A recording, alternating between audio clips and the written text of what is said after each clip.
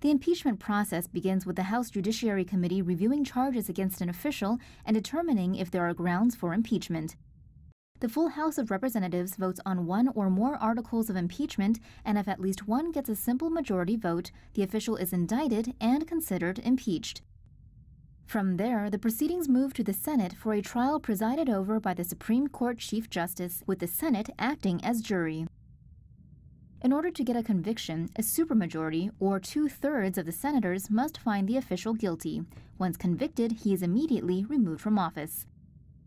The Democrats will need to win 218 seats during the midterm elections to regain control over the House and initiate impeachment proceedings. Polls indicate that they have a good chance of doing so.